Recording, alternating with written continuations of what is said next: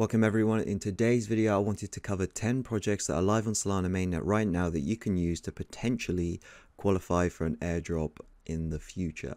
So there's no guarantee that any of these projects will give an airdrop out to early users, but it's definitely worth your time, especially since you'll be able to learn how a lot of these DeFi projects work when you experiment with all of them, as well as the fact that um, because fees are so cheap on Solana, it's not really going to cost you any money at all to test out um, all of these projects. And the risk that you take, you might lose like a very small amount in fees, like you know maybe ten dollars. But if any one of these pays out in an airdrop, then it's well worth your time. So the first project we're going to be taking a look at is Socean. So Socean is a liquid staking derivative on Solana.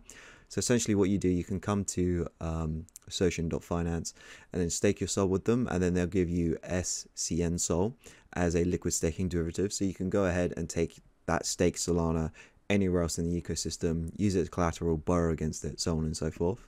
So they have, in fact, actually airdropped a NFT to some of the early users. So I think like the first 5,000 people who were staking with Socean um, got airdropped an NFT. And when it first went trading on the secondary market, you can find it on DigitalEyes. It was worth like one SOL. It's now worth 0.2 SOL.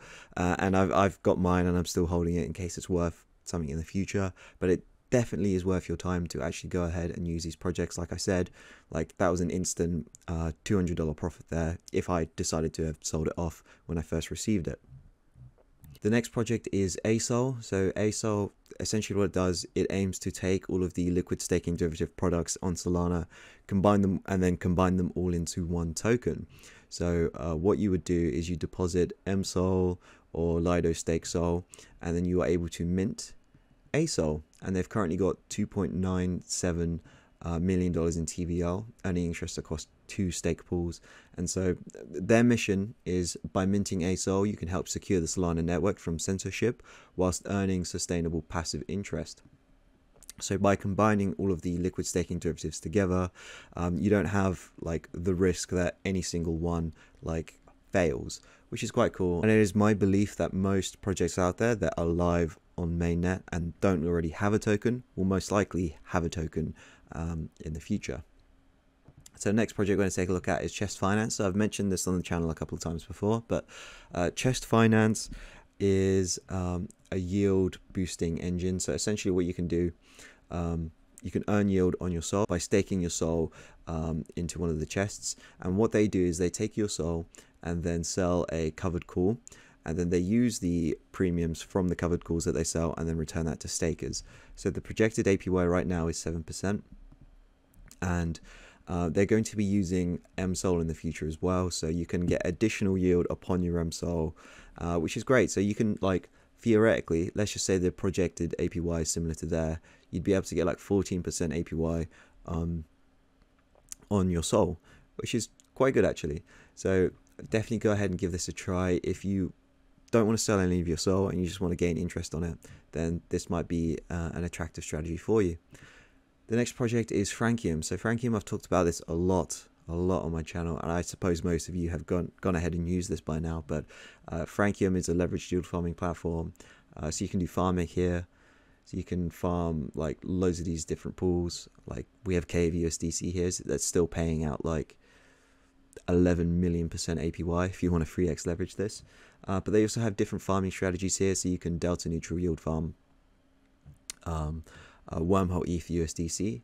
And I've done videos on my channel how you can do this yourself. And then if we go into the lending tab, you can go ahead and lend out uh, different assets here for a return, and those are used by the yield farmers. Um, you have Ray here that's you know above 100% uh, APY, and they're also doing an incentives program. So definitely go ahead and check this out if you're interested. The next project is Drift. So Drift is a decentralized perpetual futures exchange. So uh, it's very similar to Mango Markets, but it has less functionality because it just came out live on mainnet. And of course, they don't have a token. So you can go here, you can go uh, long or short on Sol Bitcoin Perp, and ETH Perp. And lots of new strategies have now arrived due to the fact that Drift is now live.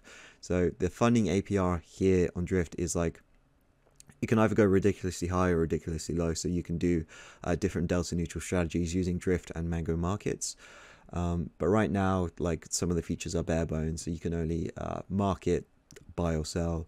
Um, but the UI is quite slick, and I recommend using it for uh, small traders. Although the fee is 0.1%, the fact of the matter is is that you will barely get any slippage if you're trading here, and you don't have to mess around with any order books.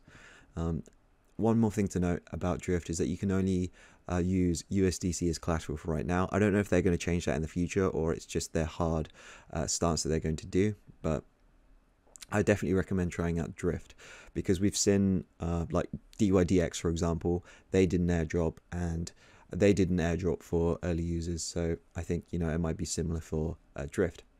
The next project is Cashio. So Cashio is uh, a new like sort of stable coin. So how you can use it, you deposit Saber USDT, USDC LP tokens, and then you can mint cash against it. So cash is a stablecoin again. It's you know one to one with uh, USDC.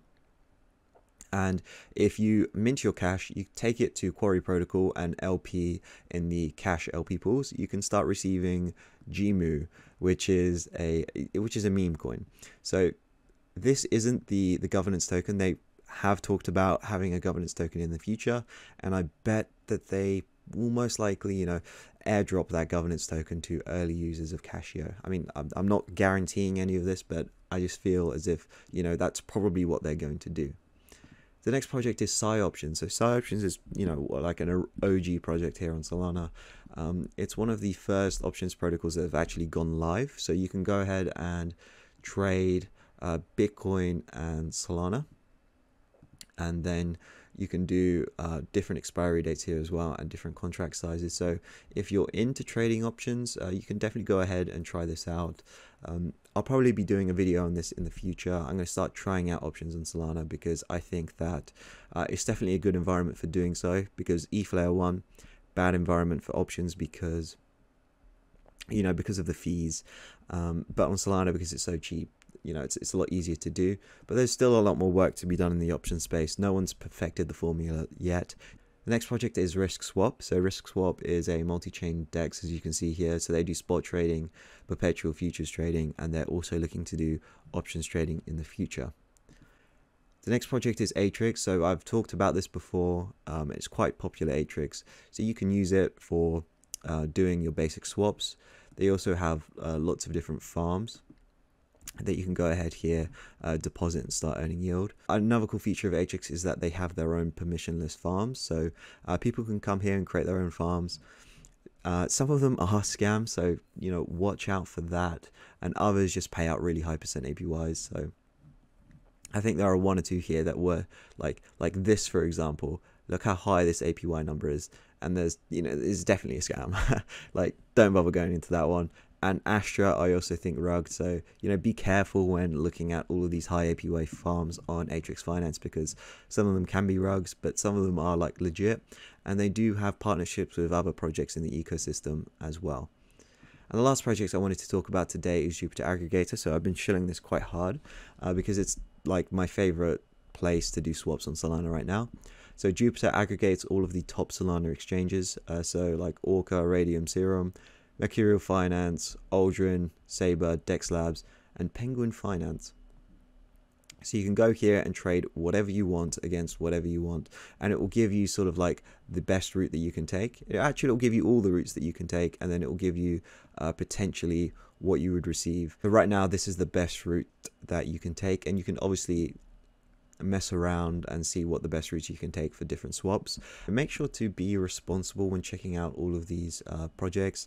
Um, it's more likely that you'll qualify for an airdrop if you're an active user and you don't just like use it once. So if you're going to do swaps, start doing your swaps through Jupiter Aggregator and Atrix. If you want to go ahead and stake some Solana, go ahead and use ASOL and Socean.